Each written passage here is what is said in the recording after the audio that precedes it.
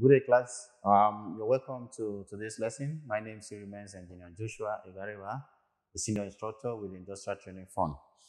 Today, we're going to be looking at the lessons that says uh, types,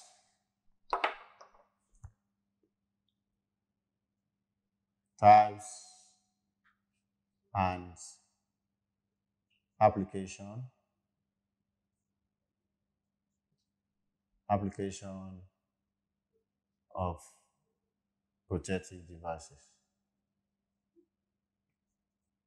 Protective devices. So in the last class, we looked at um, control devices.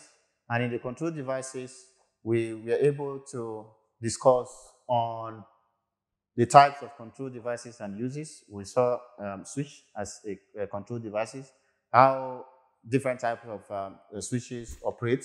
Then um, we looked at um, the contactor as a protected devices, the use of contactors as when it comes to do with um, uh, con connections, electrical connection, electrical circuits, operation in the industry. We looked at uh, the effect of overload relay, how it uh, uh, works when it comes to electrical circuits. We also looked at um, relay, relay process in both in the industry, uh, domestic, as well as even in um, to our microwaves.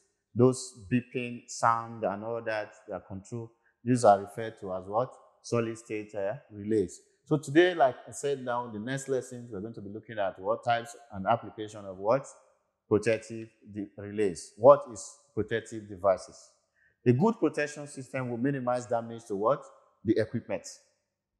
Electrical protection is a primary control for many of the electrical key risk areas and is used to minimize what? The risk. What you take risk. What do you consider as what? Risk. In the sense that if you are working on electrical equipment or devices, as the user, you should be able to conscious of what the hazards that is what around the, the equipment or around the environment. Because what you fear one is what? Electrocution. Electrocution. The shock, injuries, electrical burns, shock itself, shock, burns, as well as what? Maybe fire incidents. Because of this, you decide to light, take cognizance of what? Protective devices. These are very, very important when it comes to electrical what? Circuit. But basically, the I, the IE regulation, basically, we're going to be looking at two major, two major types of what? Protective uh, devices, which has to do with what? Two major devices. We'll be looking at what? One, fuse, common and important. Then circuit, circuit breaker. In the course of this lesson, we're going to be looking at these two types of what? Protective devices, the fuse. What are we protecting against? We'll protect against what? Instantaneous short circuit current. We protect against what?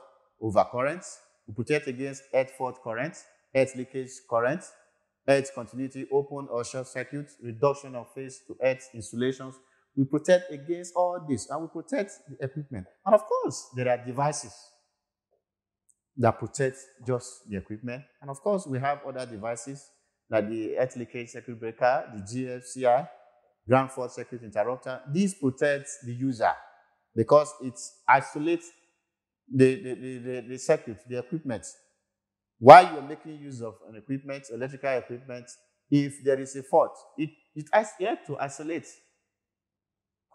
you as the user from what? The equipment. So we're going to be looking at the fuse as the most simplest and common types of what? Protective devices. What is fuse? A fuse is an electrical protective device that operate to provide what? Overcurrent uh, operations or protections of an electrical what? Circuit. It can be just a metal wire linked, just like a wire. This can be a fuse. Once it can mate, depends on the current rating.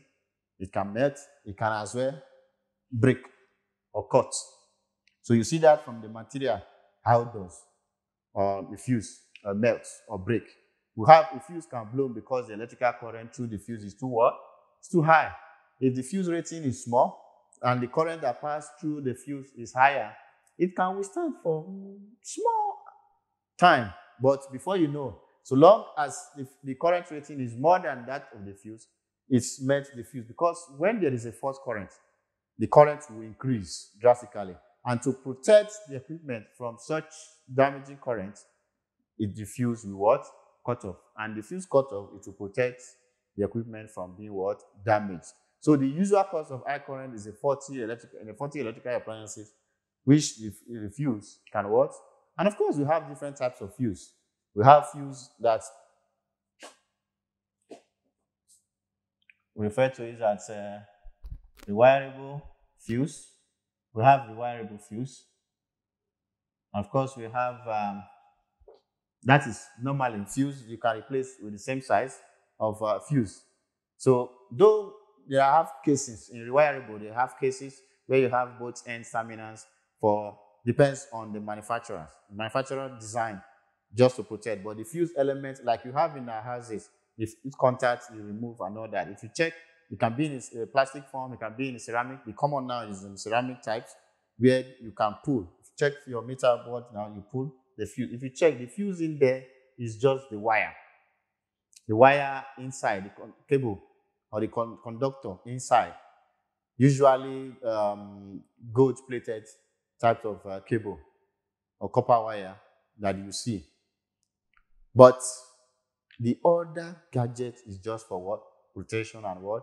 Handy. So basically, what I said, fuse, fuse is just like a wire that control. So we have other types like the cartridge, the cartridge types, that is seal. The seal, you have been to the um, transformer, you see totally enclosed, totally enclosed or what? The cartridge types of what? The fuse. You see it, you can move it. And many of you have seen um, in transformer, small size transformer, and you see the original fuse that comes with it is just seal. You remove and place. Although in a transformer, we have what we refer to as what? High inrush what? Type of fuse. Or what is called to as a high voltage, uh, high rupture capacity. High rupture capacity types of uh, fuse. In this type, it's like very, very high. The fuse element of the high uh, rush capacity is warmed by the shape. Depends on how it looks. You can see different sizes. Its effect is to avoid what? The higher what? Voltage or current that pass through. And of course, when it comes to different types, we still have what we refer to as the liquid type. Liquid type. Liquid type the same high voltage, high voltage, uh, high storage capacity. We have different types of fuse and all that. So we have the explosion type, high voltage also, and then different types of fuses, and the effect is what? To break. It can be sealed, it can be sealed, it can be oil type, liquid. It's a content inside. You can see it like a glass type of fuse. So all these are for protection of uh, the equipment. Okay. So we have, um, secondly, um, I said circuit breaker is another example. You see more explanation of the fuse and the material. Then um, the circuit breaker, circuit breaker, unlike the fuse, which operate once and then you replace. Circuit breaker can be maintained, can be worked on because it has its sizes in a bigger word form. So the circuit breaker will have like uh, what we refer to as miniature circuit breaker. The, um, we have miniature circuit breaker, which is the common rated current not more than not more than uh, 100 amps. Not more than 100 amps. Circuit type breaker, miniature circuit breaker. Miniature circuit breaker. So which is the common type that has a single pole, it can be in the form of a single pole um, double pole or two poles or three poles as the case may be. And of course, we have a larger part that is molded case circuit breaker, molded case circuit breaker.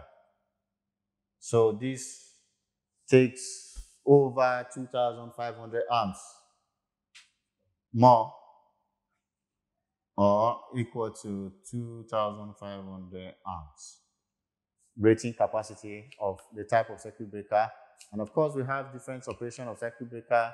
Uses is for what? Tripping uh, techniques. It trips the circuit. We have thermal types, molded case, residual current devices.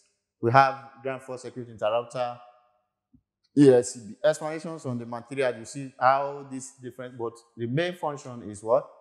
Tripping uh, purposes. It trips or isolates the circuit from the fault and we are safe in operating the equipment.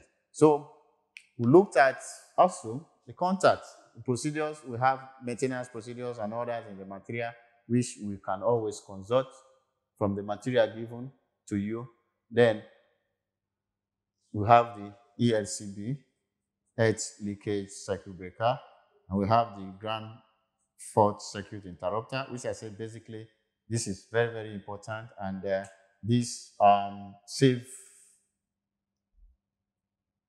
for human, this protection, this saves for human protection, human protection, so to say.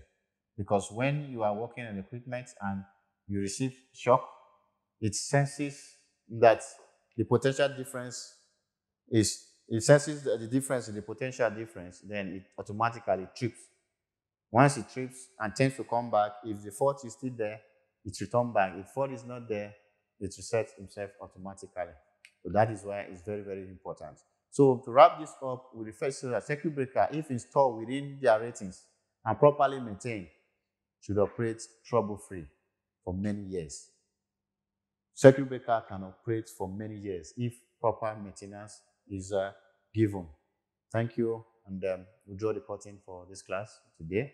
And of course, as a recap, we've looked at um, types and application of protective devices. And I told us that the major protective devices we looked at is fuse and what? Circuit breaker. We looked at different types of fuse, like the rewirable fuse, which is common, the cartridge type, the high capacity, the liquid type, and all these are for high voltages.